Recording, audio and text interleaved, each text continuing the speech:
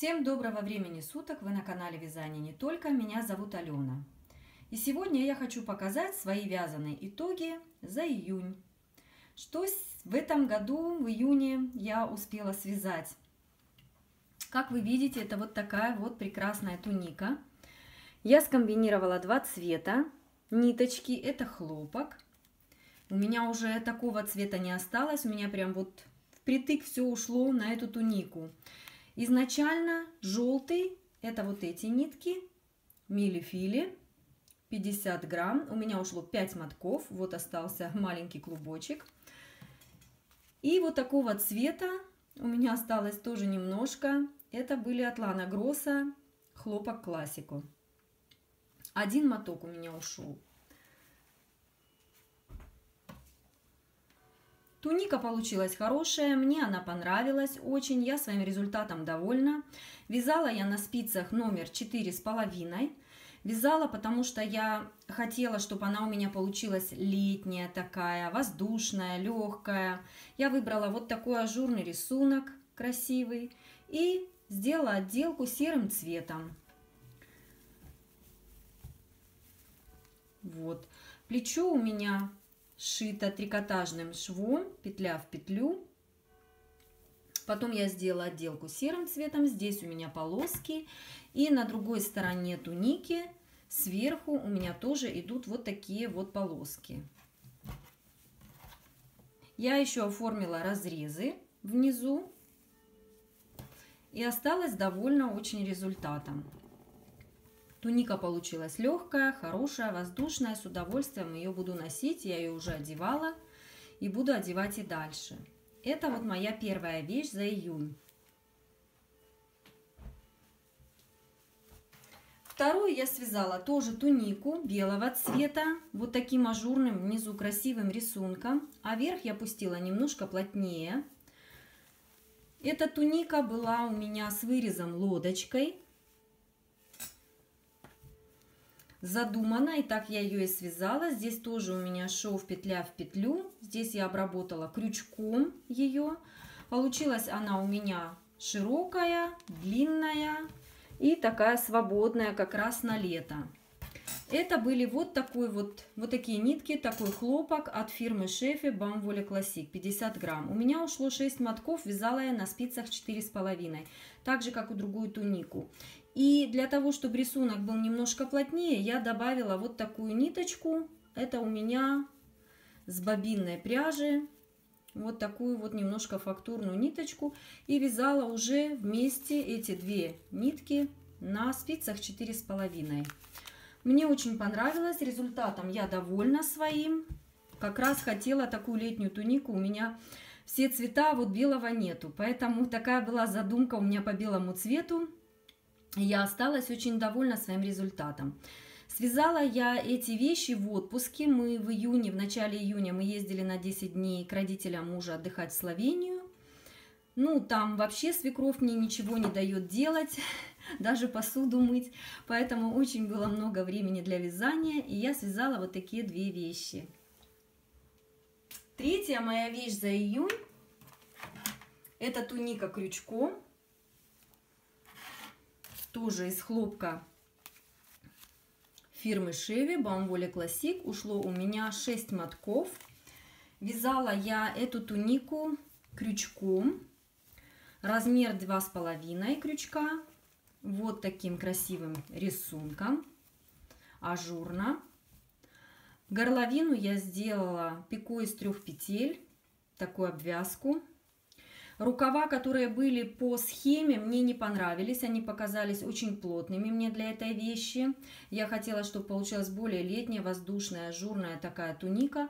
Поэтому я рукав изменила и связала просто вот такой сеткой.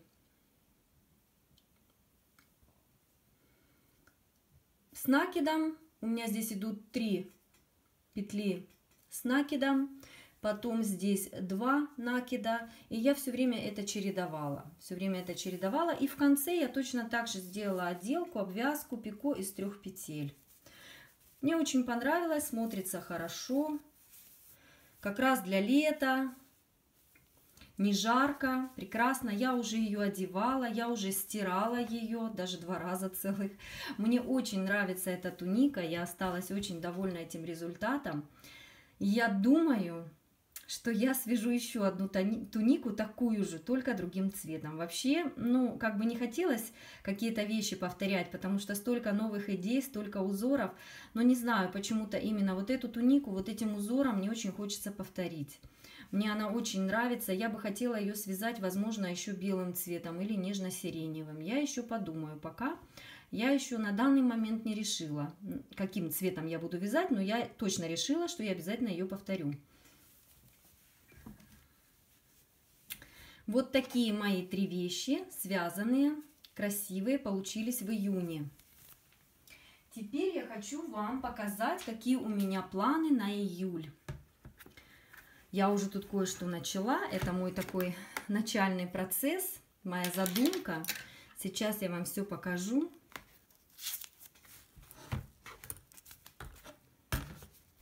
У меня были изначально вот такие три мотка. Это итальянская пряжа.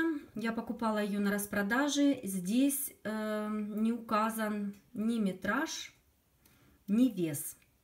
Я взвесила один моток. Один моток получился 100 грамм. Но так как он небольшой сам по себе и нитка довольно плотная, ну, я так думаю, что метраж небольшой.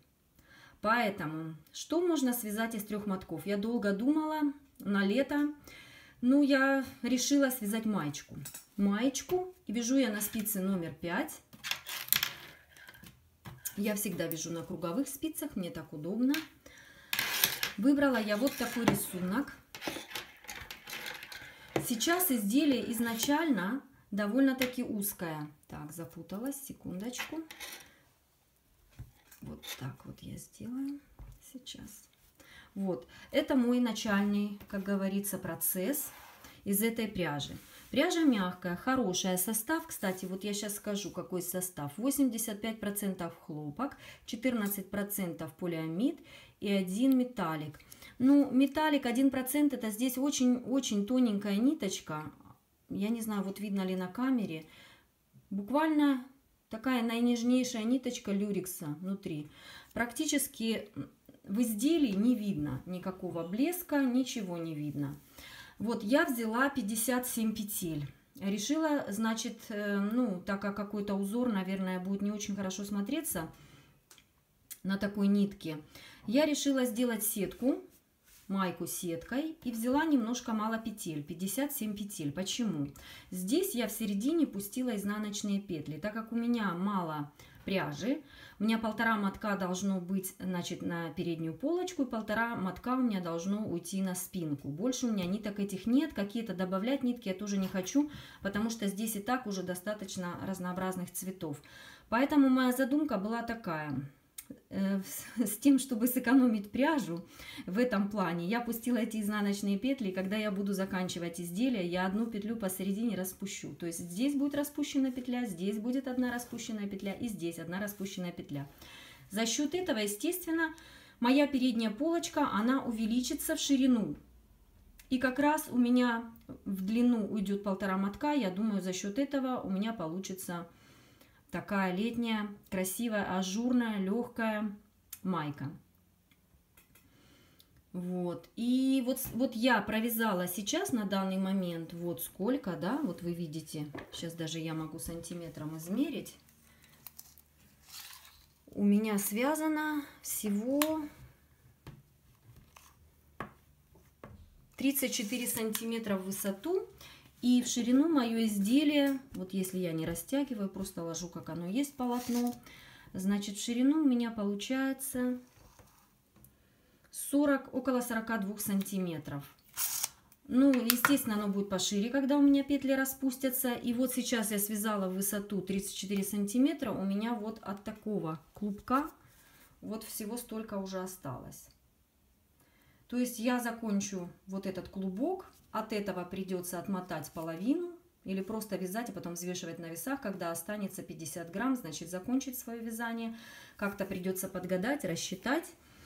Ну, в общем, вот такая у меня задумка, девочки. Пока что будет, я не знаю. В, как говорится, в итоге, что получится, я пока не знаю. Но я буду вас знакомить с этим процессом. Как только свяжу переднюю полочку ее, сделаю эти спущенные петли, увлажню, придам форму, тогда я сделаю видео «Мои процессы июль», и я вам подробно покажу, что же у меня получается. Это у меня такая первая задумка на июль. Так, в корзинку это все убираю. Вторая моя задумка будет по хлопку Катя. Как я показывала в предыдущем видео, я получила 20 мотков пряжи Katia. Это хлопок испанской фирмы. И я думала, что из нее связать. Тоже ниточка довольно плотная. Поэтому моей задумке будет летняя такая кофта-топ с коротким рукавом. Я бы хотела посередине изделия пустить ажур. Может быть, по краям у меня тоже будет сетка. Рукава будут тоже из сетки, чтобы как-то сделать изделие более воздушным таким, не слишком плотным за счет этой пряжи.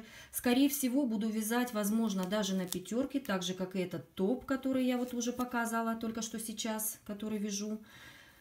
Ну, не знаю, на что хватит, на какое изделие мне хватит это, какая будет длина рукава, какая будет длина самого изделия. Если останутся э, нитки еще из этой пряжи, то я думаю, возможно, будет еще на этой кофте тоже сеткой капюшон. Но это пока такая задумка, я еще не начинала вязать.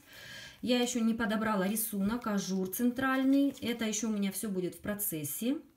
Ну и, как я уже сказала, потом свои вязаные процессы буду вам показывать.